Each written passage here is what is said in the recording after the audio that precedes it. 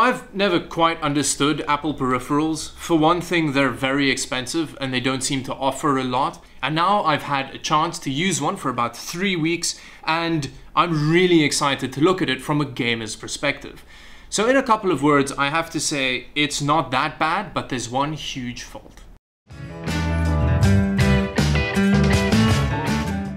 Let's just have a quick rundown of the actual physical build quality of this keyboard.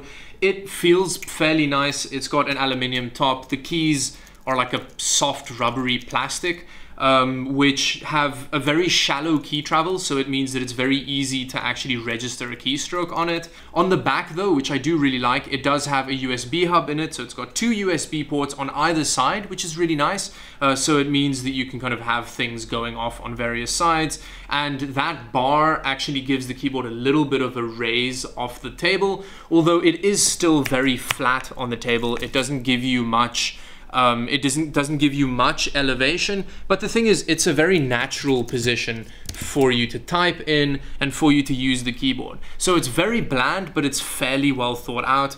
If you need any media keys, it does have the kind of like Alt and then the F keys for like pause, louder, softer, and then next track and so on. One of my biggest problems with it is that it doesn't have a backlight, which come on, you could have had like a, a, a, very not bright white backlight on this keyboard and it would have been really nice because it makes it difficult to see the keys at night. I mean, I don't need to explain to you why a keyboard needs needs backlight.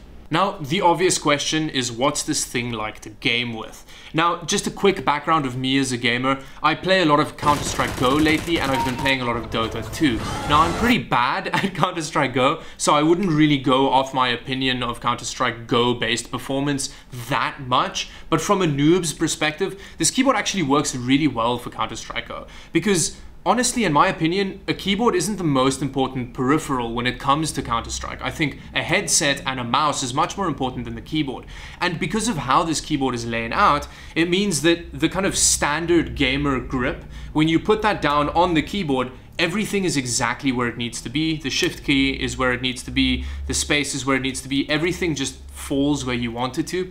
And honestly, because it has such a shallow actuation point on the on the keystrokes, it means that it's really easy to game on because you don't have to work hard on keys and stuff. Not that you really have to do that on a mechanical keyboard, but it is quite nice. And when it comes to like input rate, I haven't actually felt a delay from, from keystroke to actual action on screen. But again, I'm not a professional gamer. I can't comment too much on that, but it is a wired keyboard. So why would it not perform well? The big deal breaker for me with this keyboard comes with Dota though. Now, if you play Dota, you know that you have spell keys bound to the top kind of Q, A, like these kind of the, the, the letter keys on this side.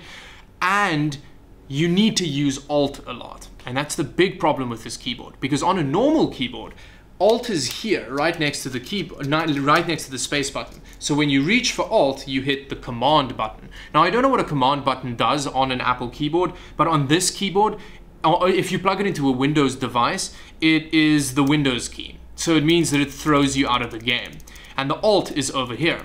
And I have died so many times in Dota matches because I tried to like signal something, go for the alt, press the Windows key, throws me out of the game, and they murder the crap out of me.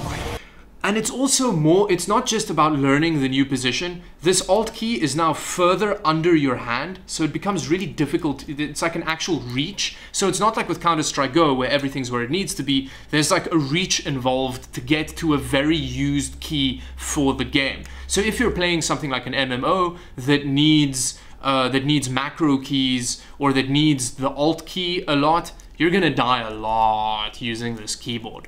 Now in conclusion, this isn't the worst keyboard ever, I don't mind it. It looks quite nice and the keystrokes are okay. Honestly, if you have one lying around and you need to use it for gaming, it's not going to kill you. Uh, but there are some glaring flaws with it, like it doesn't have a backlight in it. What kind of keyboard doesn't have a backlight in it? Like I know this was brought out a, wh a while ago, Apple has been making these for a long time, but really Apple, that's like a minimum requirement. And the placement of the Alt key is sacrilegious, like I really don't know what they were thinking with that. But it is still better than a Japanese layout keyboard, I can tell you that. Those are the worst things ever.